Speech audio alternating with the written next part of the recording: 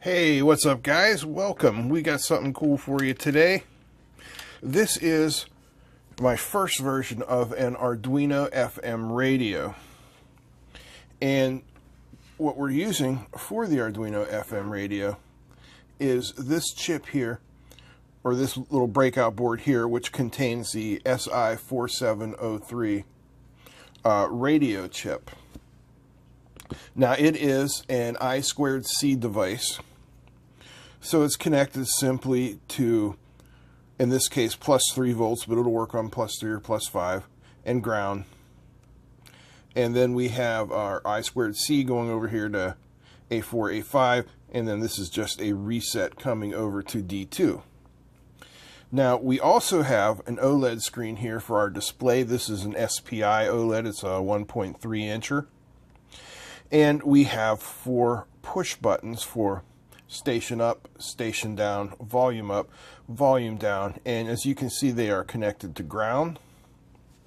And then they are also connected to the Arduino through pins 3, 4, 5, and 6. And they will be set up with an input pull-up. So let's go take a look at the code. Oh, one, one final thing. You need to have uh, a set of headphones plugged in to act as the antenna in this case. There's nowhere on the board to solder a standard antenna. So you, you could also use an auxiliary out cable and put this into a set of speakers or, you know, whatever you want. But in this case, we're just using the headphones. All right, let's go. All right, this is the code for the Arduino radio with the SI4703. Now, we have a bunch of libraries, five libraries, and they are going to take up 93% of our dynamic memory. So we're pushing the Nano about as far as we can here. Anyway, we've got SPI library for the OLED, wire library for the radio chip. This is the driver for the OLED, this is the overall radio library and it works with a bunch of different chips. This is the specific driver for the SI4703. Now these defines here are for the soft SPI. Um, you can use the regular hardware SPI if you want to, you know, just easier for me to wire it this way. And these defines here are for our switches, uh, station up, station down, volume up, and volume down.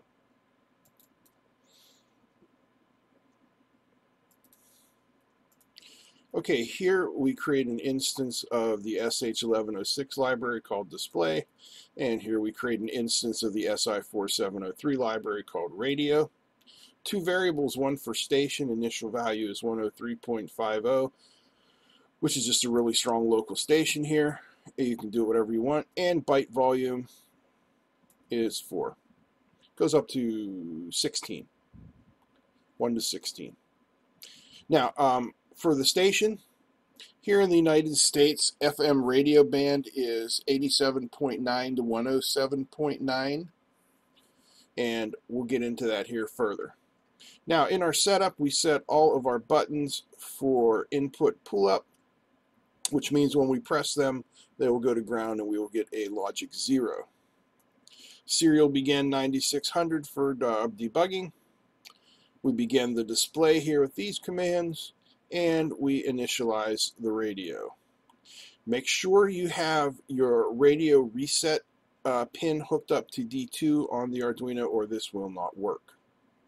Also, this will not work with an I squared C display. I tried it and tried it and tried it and the radio just will not work with an I squared C display, which is why I'm using the uh, SPI one in this case. All right, then we're going to set our initial radio settings. Radio.set band frequency, radio band FM, which is, as far as I know, the only band this can receive, and station, which is our variable we declared above. Volume, uh, we don't want mono, so we are in stereo, and we don't want mute because radio for the deaf just doesn't make any sense. Uh, next, we are up to our loop where we start our display initialization stuff and then we print out all of our information here. Then we get into our program logic.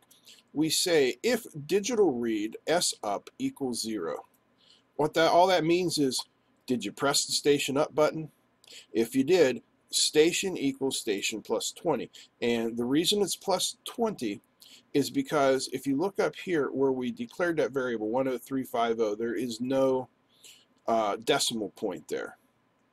And since these FM stations uh, go up in odd numbers, so our next station would be 103.7, we have to increase this by 2, but since there's no decimal point, we increase it by 20.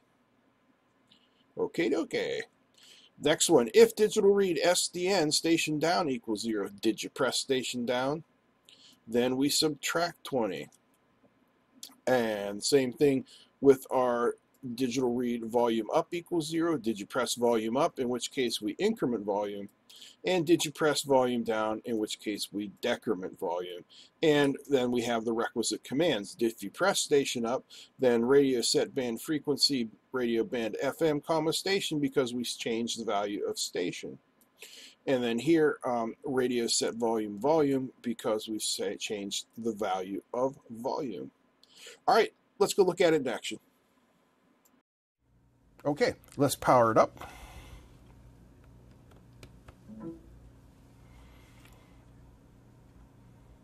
And there we go.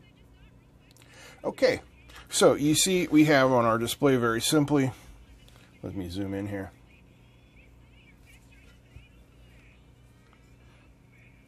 Uh, Arduino radio, band is FM stereo, frequency is 103.5, and the volume is set for 4. I'll give you a quick preview. I don't want to get uh, whacked for copyright uh, restrictions. Okay. So if we want to increase the volume, you know, we can press the volume up button. And our volume goes up. Oops. I've never had good luck getting buttons to stick in breadboards. And then we can go down, volume goes down.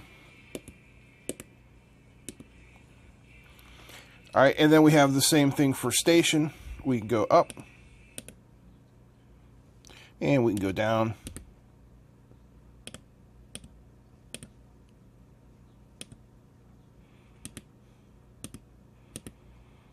Quite simply, it goes all over the place.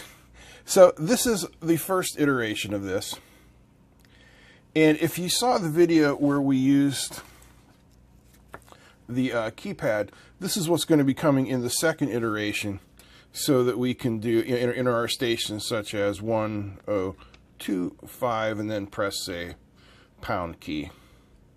Same for the volume. We'll do like a volume up, volume down. Like that. Now this um, radio board, let me unplug this here for a second and show you.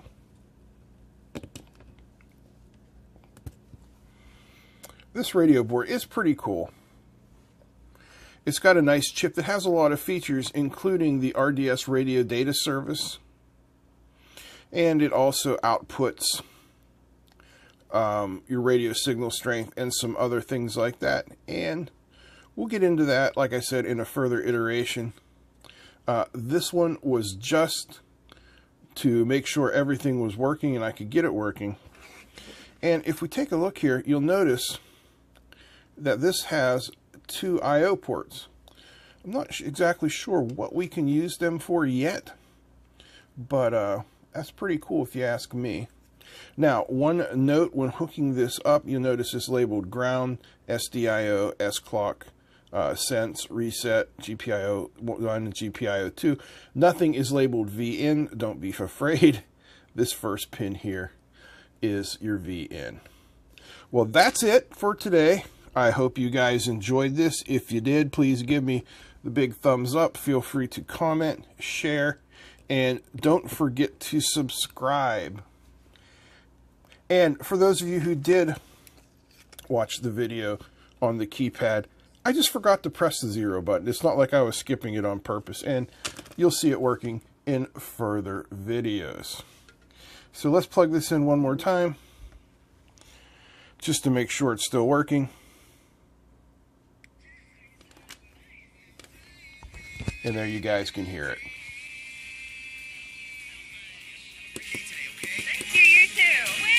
That's it for today. See you guys next time.